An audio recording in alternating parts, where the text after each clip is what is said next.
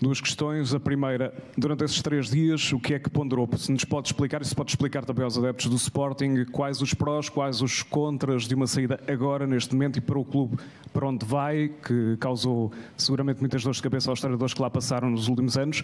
E, uma, um, e queria-lhe um, perguntar também uma, uma segunda um, questão se tem no horizonte regressar um dia à Liga Portuguesa e se pela relação que criou com o, com o Sporting arrisca a possibilidade de treinar o Futebol do Porto ou Benfica?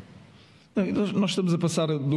Uh, o, o, o, que pesa na decisão do treinador é tudo isto: é tudo isto. É sair a meio de uma época do significado que tem. Eu, te, eu sei do significado que tenho no clube e para os adeptos e, e, e aquilo que, que, que, que, represento. Depois, como é que se diz aos jogadores isto? Um, como é que se diz ao presidente isto?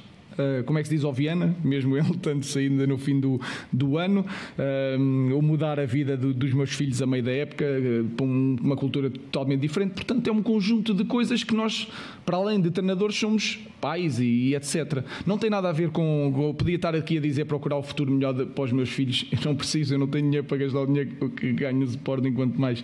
Portanto, não é isso que, que, que, que, muda, que muda a minha vida, é simplesmente algo extraordinariamente desafiante. E portanto, eu, da mesma maneira que eu senti no Sporting, toda a gente dizia: não vais conseguir. Houve gente também a dizer que eu não vou conseguir outra vez e eu quis enfrentar isso e, portanto, eu acho que toda a gente teve aqui esse, já hum, essas situações e eu uh, resolvi um, sair um, neste momento. Não, não, não, eu não, não, não parece que volte tão cedo a, a Portugal, portanto não vou estar a falar de futuro. Mais uma questão.